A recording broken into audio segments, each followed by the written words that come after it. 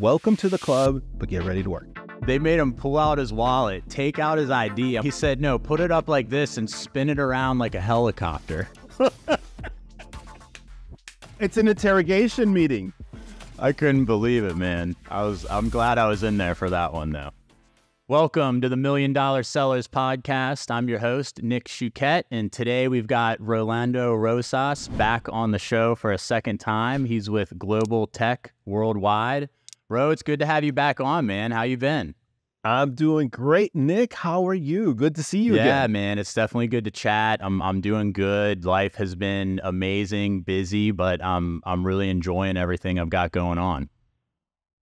Oh well, you know, uh, as an Amazon seller or an online seller, uh, I don't think you have a dull day, right? You know, stuff, stuff, and that's being kind, right? Instead of using shit, Yep. stuff happens, uh, and it's unavoidable, right? If you want to be uh, selling and run a business on Amazon, I'm sure you could agree with that. Yeah, it's it's always hectic, always always something popping up, something new to kind of figure out, which certainly keeps it interesting. And and personally, I kind of like dealing with those things, right? Like it's it's an it's a tough dichotomy, I think, right? Because the more I have planned, the less I I want to deal with stuff that pops up. But if I'm kind of left to my own, you know, natural operating uh, procedure, I I really thrive on those those problems that kind of come up out of nowhere, and it's like, all right, come on, we got to go, time to fix it. And, you know, as the boss of a of a business that sells on Amazon, you're the the head of the fire department. Yeah. There's fires that are going on all the some bigger, some smaller. And you know, I was talking to Chad Rubin a couple of weeks ago. Yeah, he's he sold his last venture and is on to something else now. And he said to me, you know, I really enjoy not having to put out fires every day. Yeah. And that was the best part about selling his company. Uh, he still has an Amazon presence, uh, selling, you know, uh, I think air filters. Uh, but the the grind that comes with, you know, having multiple companies, in his case, that were on Amazon, is it's a lot of work. And you know what, Nick, that, I think that's a good place to start. People that want to be on Amazon, it is a pet peeve of mine that I see every single freaking day how people are, let's call them influencers online. Right. Not, not anybody in particular, but influencers settling and selling and peddling either a course or an ebook or one, they're not really sellers. Two, the advice is poor.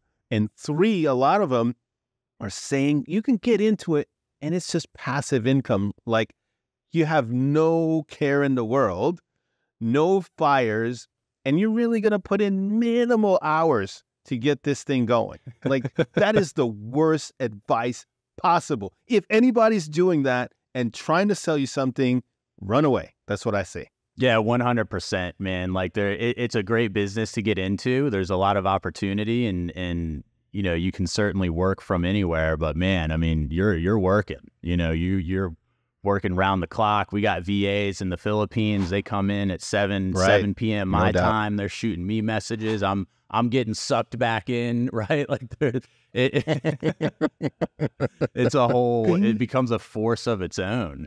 Um, and I, th- I think it the the golden days of, of kind of getting lucky on Amazon are are gone, man. It's it's not there anymore. Well, the times have changed. You know, uh, uh, Amazon has evolved, uh, and if you think of Amazon as a somewhat of a living, breathing organism, it was an amoeba 20 years ago. Now it's somewhere, you know, maybe some kind of species that's further along. Yeah. Right? So it is not going to be the same 10 weeks from now as it was 10 years from uh, pa- that have passed. And so I think, like what you said, the easy days they've also learned, you know, there's people doing all kinds of black hats and they've you know, recently sending people to jail. The FTC is rounding people up for things that probably were okay five or 10. You could pay people for reviews. You can't do that. right. You could manipulate reviews. You can't do that. And for those folks that think you could do that today, ouch. You can't. Right? Or you could, but you're gonna Yeah. find that uh, you're gonna be at the wrong end of the stick soon. Yeah, and I think one one thing I've learned, not I was never like super black hat. I mean, I'll certainly blur the lines a little bit and um and and kind of uh rules are meant to be broken type of guy, right? But um there's a certain line I won't cross cuz at some point you're better off just putting the energy into like doing a really good job at at marketing your product or uh creating a really good product, right? Like it's just uh it just a better play. Right. And no and, and not only that, I heard this from one of our MDS members. I just rather sleep at night a little bit better, right? Not having to worry about like, ooh, when is this party gonna end? Or if I get caught doing something like that. In the in the long run, if you're in this for the long run, right? You're in this as part of your business and you want to sleep better at night. It may seem like you're getting left behind or left out of the party, right? But eventually a lot of the the the more egregious black hat techniques they either get cut off now much more quickly than before or your account is done Yep. right They- they're not playing those games anymore on amazon they're like you're out Yeah, and I don't know about you, but I'm not one of those guys that can, you know, spin up 10 accounts overnight. And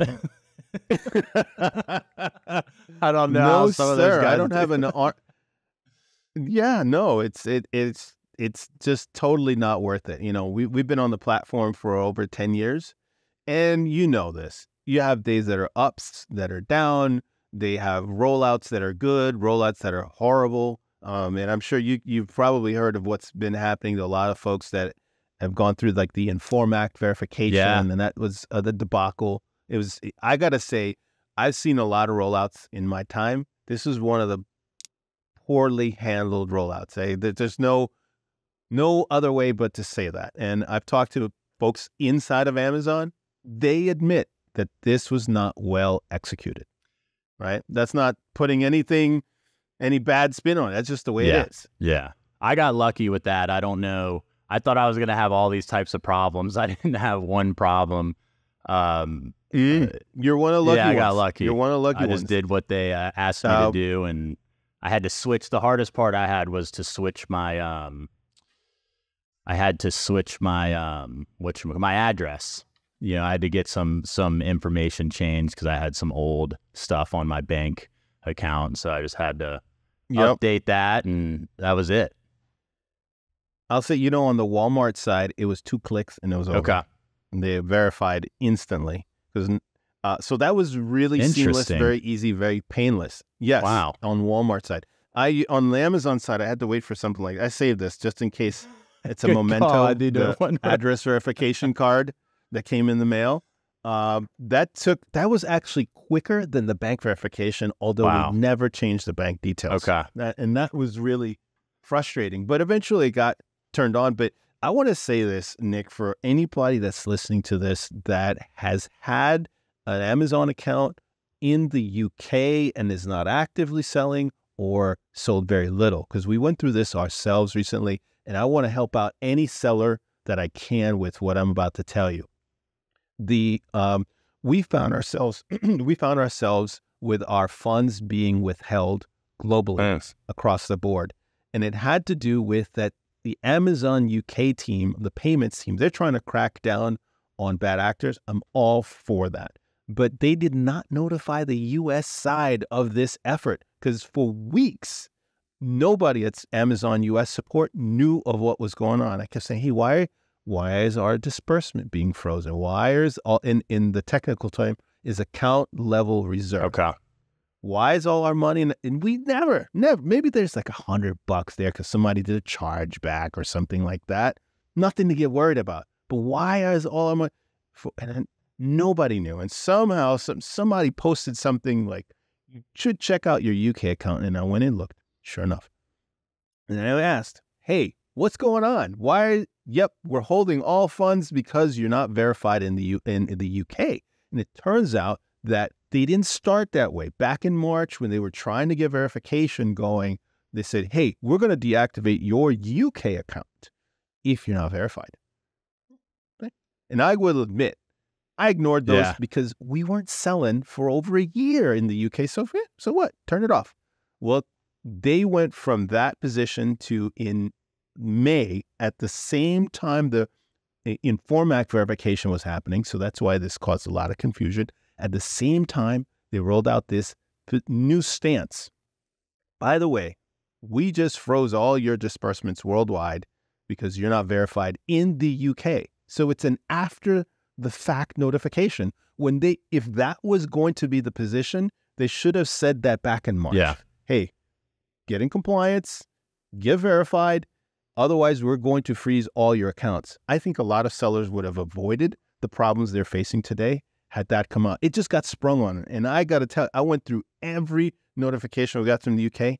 Not one of them said anything about this new position about you know, freezing accounts worldwide. So if you are mysteriously not getting paid from the US side and you still have not found out why, and Amazon US support has no clue, I'm telling you, go look at your Amazon UK or Amazon Germany account or any of those EU accounts, look at the performance notifications, go through the verification process, which is a mess, by the way, worse than US, um, and start pushing the information in to get verified because it's going to take a while.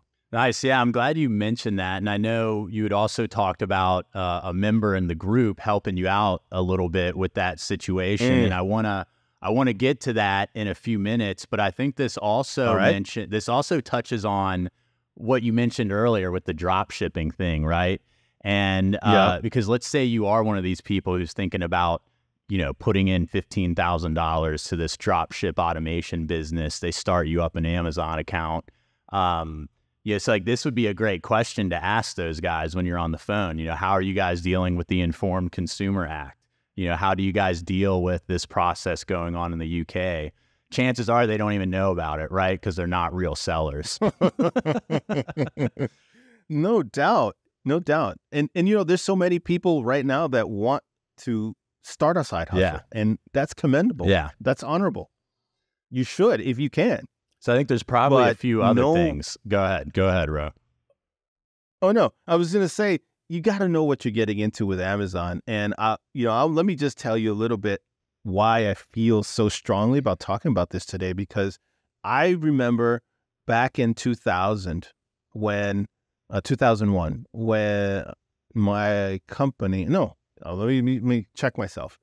2002. Now it's become clear. It's getting further and further away. It becomes a little foggy. So 2002, I was laid off. And the company said, just hand in your laptop. We're letting you go. And they had been laying people off because that was during the um, telecom bust okay. part of the economy, right? Boom. I kind of got into my own side hustle, which is what I've now turned from side hustle to a full blown business you have to know what you're getting into if you want to have an Amazon business. And if you want to be successful at it, I will tell you, and you know this, Nick, it is not a passive income situation. You must, if you want to make this successful, you want to get to that seven figure and eight figure that everybody likes throwing those numbers around. You want to get there, you cannot do it sitting remotely in a beach. I love the fact that I can work remote. Right now, I'm talking to you remote. And, you know, when we get done, I'm going to be talking to my team. But you will be working. Yeah. And you want to master the things that will take you to seven figures and beyond. And that cannot be in a passive mode. Right. You can't accomplish that on Amazon. I don't know. You know what, Nick? Tell me of one seller that has started off and and exited being completely passive on Amazon. Yeah, not one. I can't find yeah, one. Definitely don't one. know one. No one it doesn't work. So if you're listening to this and somebody told you and you paid $5,000 or more for a course, ouch. Yeah. Because you're going to need to do a lot of heavy lifting, especially early on, Nick. It's a, a steep learning curve. Definitely. Definitely. And and guess what? Here's the here's the other thing that I the other day. You know that Amazon, if you go on Instagram or have an Instagram account, Amazon is running ads on Instagram and other platforms as well, day and night to sell on Amazon. Yep. So, you know, you have folks on one end that say, hey, you could do this, you know, easily passive income, go to Alibaba, buy something for 20 cents, right? Sell it on Amazon. You'll be on page one. Baloney. And then on the other end, you have Amazon actively recruiting new uh, sellers every single day joining the platform. So if between the both of them, a misconception on one side with the passive side and Amazon actively recruiting, you have new, fresh recruits coming in all the time into the platform. And I want to just say, if you're in that position, welcome to the club, but get ready to yeah, one hundred percent. I was trying to find this. Uh, I got hit by an ad the other day.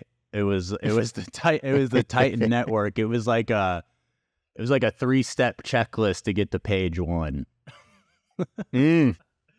Oh my. I don't think I'm gonna get put you through the funnel. Yeah, I don't think I'm gonna be able to find it. But yeah, you know, it's it's it's not easy. It's it's a great opportunity, right? Like you can you can make good money. Um, you can certainly build a team and and delegate tasks, and mm-hmm. maybe things get a little easier for you, and and you can stay focused on the things you enjoy doing and and what you're best at. But man, I mean, I'm you know, like seven years in, and I feel like I'm kind of just getting to that point, right? Where we're like Hell rapidly yeah. hiring and we have a team of people underneath. Uh, but then there's always going to be those things that I, I love to do, right? Like there's a reason why I got into this business. Um, and part of it is just because I love I love certain aspects of it, and whether I have nothing to do or a lot to do, uh, my mind gravitates towards those those things. Um, so I'm fortunate in that sense that you know I got myself into a situation where there's there's really an outlet for me to express my true self uh, through my business, uh, which is great. Yeah, and and you know, for a lot of people uh, that are looking for that next thing, that next evolution in their career or the next uh, chapter in their lives, Amazon can serve and fill that that that thing, like what you're saying. And I I think the thing that doesn't get a lot of uh, amplified from a voice uh, side of thing is how you really need to jump in. You need to be all in to really make this go. Yeah. Like you're saying, you, you, you need a team. You could start out by yourself um, and take those steps slowly, right? You know, to understand the platform because it is not like Shopify. Right. It is not like, you know, selling on Google. It's not like selling on eBay. And that happened to us. No, the first year, I think we sold $7,000. We were already selling a whole lot on our own BigCommerce store. Um, this before Shopify, right? So to us, Amazon was kind of like, ah, that's a joke. Nobody's buying this these electronic products on on Amazon. Certainly not businesses, and we were wrong because we were looking at it like we look at it from our, from our BigCommerce store. And once a year went by, and we're like, eh, let's what's so different about it? What make well, there's a lot of nuance. There's a lot that goes into, and I would say, I don't know, Nick, do you agree that it's become more? The word I would use is sophisticated. Yeah, I would. It was simpler.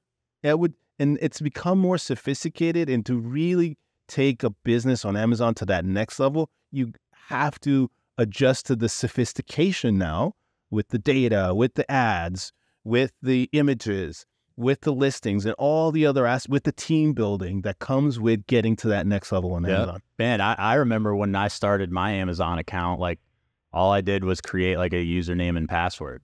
like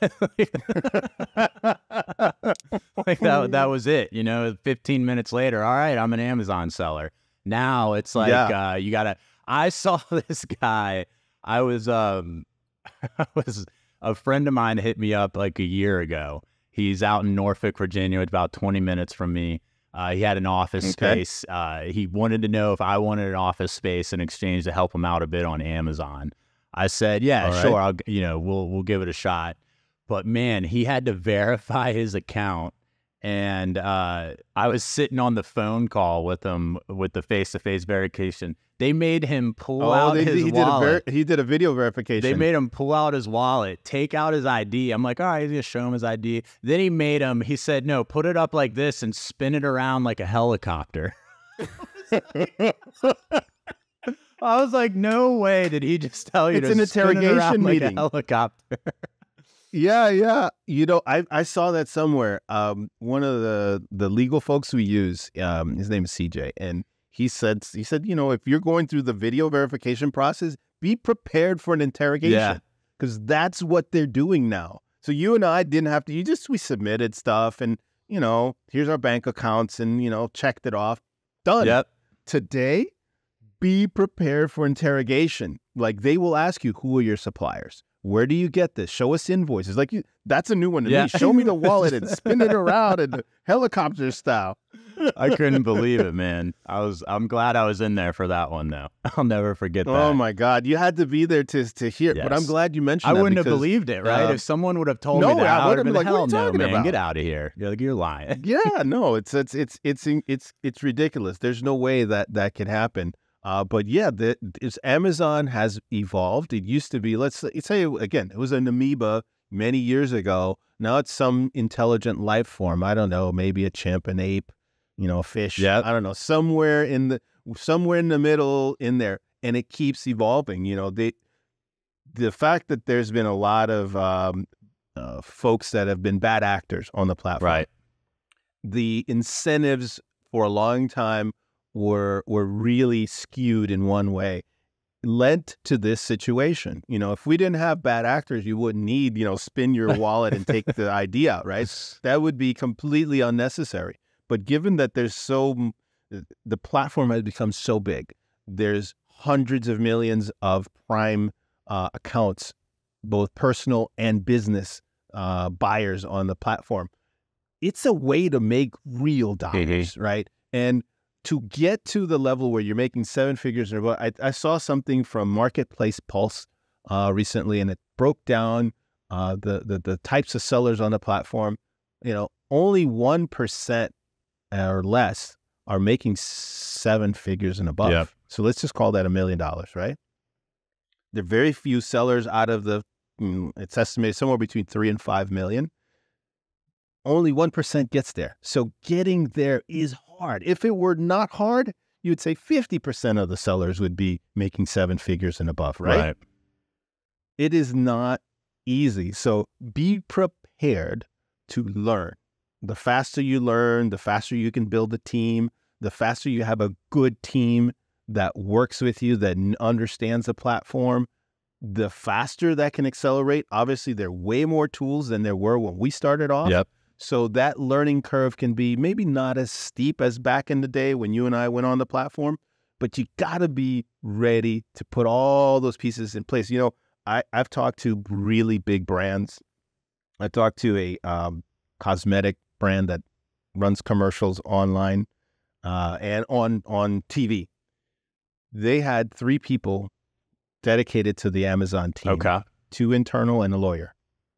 I said, you can't, and at the, you know, they're multi-billion dollar company. I said, "You- you're going to, and they had problems. I said, you're going to need to add resources at this level. You got to add a team more than just two people Yeah. because you're going to get tons of hijackers because they're a big mega brand.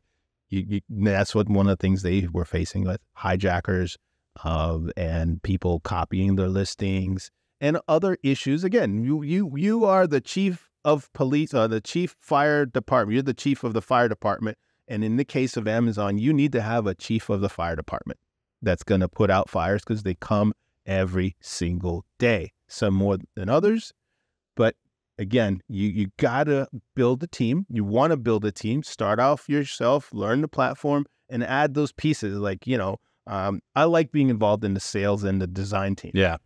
I like being. That's the thing I get the most out of.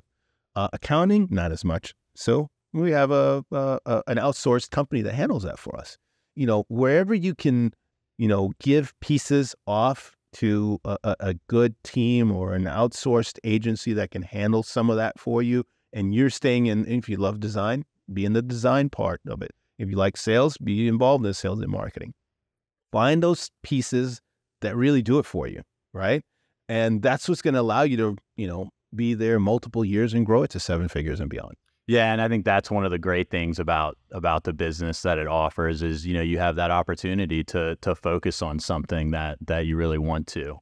Um, and I think one of the other cool things I learned from Amazon in my early days falls back on you know kind of the the comparison of like a job to entrepreneurship or Amazon business in general is if you put more into it, you should want to work hard on it, right? Because you're going to get a return Mhm. pretty quickly, especially if you're doing Mhm. something like drop shipping or retail arbitrage, reselling, Mhm. right? Like it, if Mhm. it's if it's a private No label, it takes a little longer to get things going.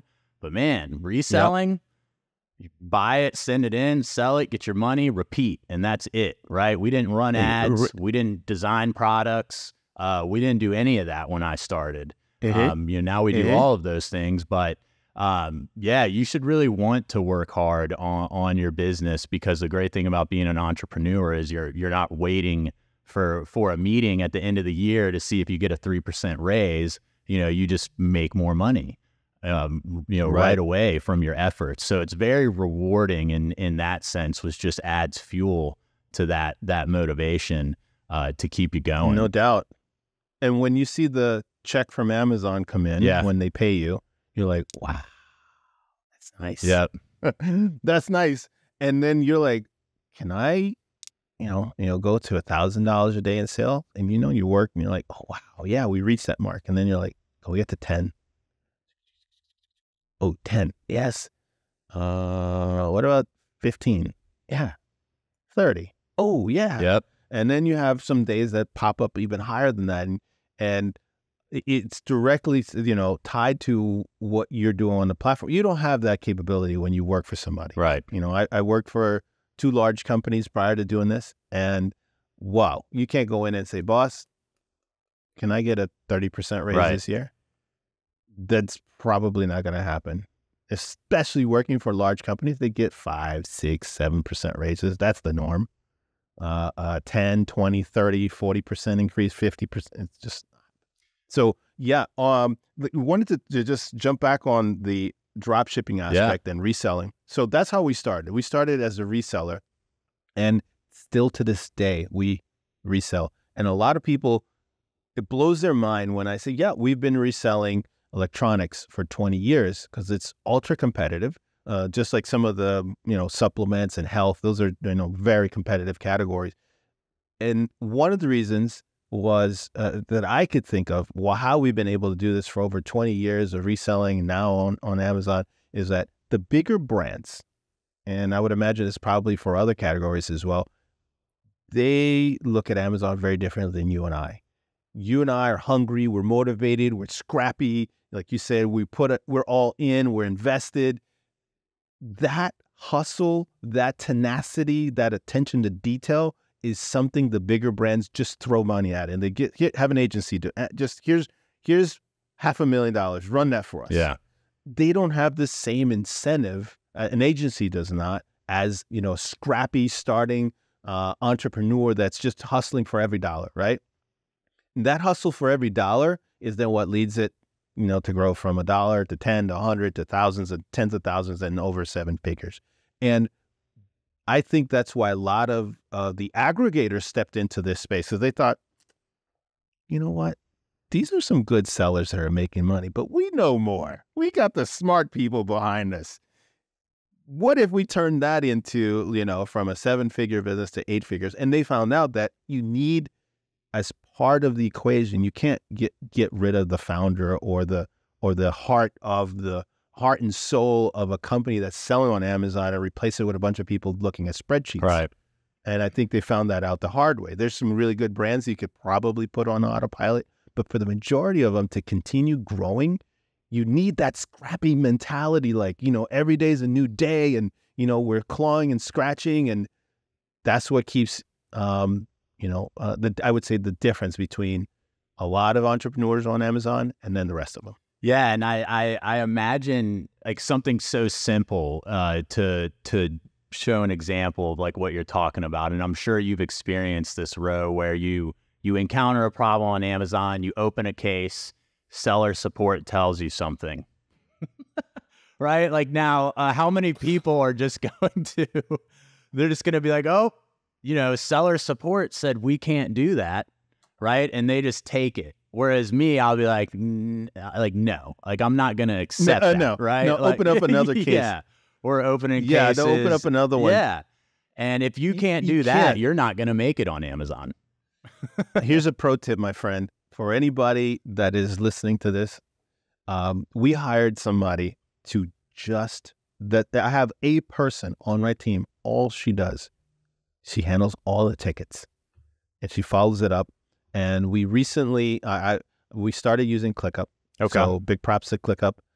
It makes that whole task, and then we, we use it for many other things, but just this one specific task of support, support tickets, follow up, um, things like hijackers. She is on it because if you have somebody like that on your team, it makes the frustrations go from here on some days down to here. Right. I'm on it. I got it taken care of. That hijacker's gone. Uh, I filed the ticket with support. Now I'm going to go to brand registry. Nope, I'm on it. Uh, brand registry said go over here. I'm on it. Right. You gotta, you know, make that whole part of uh of the equation, which is part of life being on Amazon. You got to have somebody on it. Otherwise, you know, tickets don't get responded. They'll close. The most frustrating thing is, you know, they'll see and you'll look at your um the case status and it says answered. And they're like, Yeah. what? that wasn't answered. And they want you to give a feedback survey on the quality of service. Like, no, sorry. And so you got to open tickets. I heard this from Steven Pope. He said, just keep opening tickets Yeah. until they somebody tells you some bogus response. Open another one. Um, the other one, by the way, um, you can reach the Costa Rica call center on weekends. Now, Ooh, I didn't know about the something I just- um, okay. Yep, weekends. You'll reach. Now, why do I say this? Because if you're going to open up tickets, you want folks that are interested in trying to resolve it. We've found that folks that they have in Costa Rica tend to do that. You know what they did? I think they heard it on a lot of podcasts. They shut off the, so you can talk to agents in English, um, French, and Mandarin, all these options. They took the Spanish one off Wow. of there Okay. because they're like that can't too many calls were had to be going in Yeah. They had to be backlogged with a lot of cases and so they took the spanish option is but here's the tip. Do it on the weekends. There's a high probability you're going to get somebody in the costa rica call center that speak english. Okay. ask them ask them listen to their name. If it sounds spanish it's going to be somebody in, the, in a call center in costa rica and say hablas español? Very simple. Do you speak spanish? They may be hesitant and that happened to me the the couple of times that i asked my uh, person that works on it she said yeah yep oh yeah yeah hablo español and i was like tricky freaking amazon they don't want us to know that that call center is still there and you can reach them. But if you ask them, hey, are you in the, and they are really hesitant to tell you they're in the Costa Rica call center, but just, hey, look, I'm I'm just trying to find out, you know, who I'm dealing with, who's on the other line. Where are you? Are you in the Philippines? Are you in India? Are you? Oh, I mean, okay. Nice. Or they don't want to tell you Costa Rica. Are you in Central America? They say yes. There's only one call center that I know of, and that's in the Costa Rica Right. uh, call center, right? So try to reach them. They help you much more than I find in the Indian uh, call centers or even the Filipinos. Even though we we work with Filipinos, Costa Ricans uh, tend to go out of their way to really try to handle the case so that it can have some resolution to it. So do that if you can. Yeah, and a lot of people won't understand the the value of that, you know, what you just shared there, right? Unless they've been through it. You know, like someone who hasn't been on Amazon selling, you know, they're probably like, why the hell does that matter? You know, but like, well, it, it matters. You know, Nick, we just had this. We were talking about members of MDS. Yep. And um, I had I've spoken to a lot of calls. But this one, I got involved with the worldwide um, disbursements being shut off. They were telling us in the U.S. your funds are coming. Don't worry about it. What? And three weeks into it, no funds were coming. How can that's because they didn't know the information and they weren't looking beyond maybe what was on their screen, or maybe they didn't have that information. So the value of talking to people that know what they're talking about and actually care, and they may dig a little deeper than going beyond what's in just the top of their screen. They scrolling down. They may check, you know, in their internal wiki uh, and see what's going on. Are other seller cases with you kind of get that with the Costa Rica folks. And you're like, oh yeah, there's some reports about this thing happening over here or over there. And now you have the information to understand. Let me give you another tip. When you send stuff to support, one of the things that we've found useful is when we submit, we submit video. It helps so much because, you know, if you're doing like a test buy and you're just like, here's the product that came in, It's not the same one that's on the listing. The listing says it comes with 10 things and they only ship five. Here's what came in the box A, there's no arguing with video. And B, video has the ability to be tracked. So if they click on it and look at it, and somebody in Brooklyn, New York, or in Seattle, or in Austin, where brand registry people, or in Detroit, all of these offices may have something to do with brand registry and look at it, you know, the case has gone beyond the India call center Right. or the Manila call center or the Costa Rica call center. Now you know something can happen and somebody is empowered because these frontline folks, they have zero power Yeah. to fix a problem, especially when we're talking about hijackers. Uh, they have zero power to do anything about it, and they won't put you in touch with the internal team. They say, we're forwarded to our internal team. How many times have you heard that? Oh Nick? yeah, that's the worst. we're- That's yeah. We're communicating the with our internal team right on this. there. No doubt. But with video, now you know when that somebody on that team in usually one of those cities has looked at the video and you know is working on the case. So that if a day or two goes by, you can go back and say, hey, um, has your internal team looked at it? And you know if it hasn't been touched at all, you know that to be true right. if they've already looked at it, you're like, hey, I know that your internal team has is reviewing this matter. Can you check in with them and find out what's going on? Whereas right now, most people, it's a black hole when they tell you the internal team is looking Yeah. at it. It's just like if, if, if you know, you put it in a big box and you have no what no idea what's happening. Yeah, that's pretty smart. So are you guys using Loom for that? You can use Loom. The other one that is out there is Dubb. Okay. Dubb gives you uh, a little bit more granular intelligence uh, when it comes to folks that have looked at the video. Um, and so I'm I'm a big proponent of either because in in both cases you are going to get um, better help on the support side because they can see the thing that you're trying to say, you, you- whether it's a you know hijacking situation and a test buy or something else. Uh, on the Dubb, you get a little bit more details around some of that uh, so you know, oh, it's in Brooklyn. You know, somebody opened it in, in Austin or whatever, Seattle. Um, you, I don't believe Loom, as of this recording, gives you that information. Right. Yeah. I think they just give you like the click, right? Someone someone watched Yep. your video, I think is what they say. Yep. Um Yep. So yeah, man, that that is a very good tip. Yeah. That's uh one I'll probably start using myself.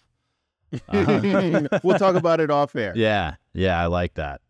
Um, well, man, Ro, it's uh, it's it's been really good having you on. I wish we had some more time to chat. Uh, you're you're definitely sharing some great things, and and it's been good to catch up since we had you on on the No, first I love it. time. I love and- hearing from you. Yeah, and for you know, for anyone who wants to learn more about Ro, you guys can go back to the to the first season and today we make in some days one day as much as we made that first year and that was like whoa if you're an entrepreneur the road is bumpy every seller can tell you a horror story or Yeah. Uh, Ro talked more about how he got into the business and uh, some of the stuff he dealt with along the way, and then you guys can get to know him a little more on a personal level. Um, but yeah, man, thanks for coming on and, and just dropping some great info. I know we had some more things we wanted to talk about, so we'll we'll have to bring you on for uh, Part for a third one, man. Anytime you want me on, Nick, my, I'm open to you and, and love coming on here and sharing what I know. All right, sounds good, man. We'll be on the lookout for the invite. We'll definitely get you back on. All right. Thank you very much, Nick. Appreciate that.